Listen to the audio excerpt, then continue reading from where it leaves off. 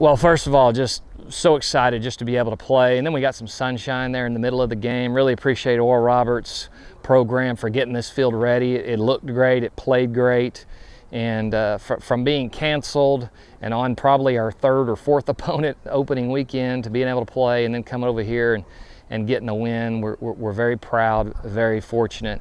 Uh, Funk was outstanding. We had a uh, plan set in place when we got off the bus. Coach Spies and I got together. It's early in the year. We had snow the last week, and so pitch counts were a little short. So we were hoping for five out of Funk, and we got it. And there was no doubt in our mind we were going to hand the ball to uh, Hayden Arnold.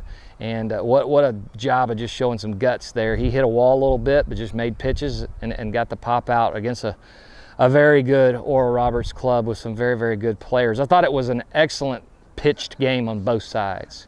Uh, I, I, thought both both sides early were just trading punches on the mound and some really really good arms. The guy I'm proud of, uh, Dickerson, unbelievable game. Figueroa, unbelievable game.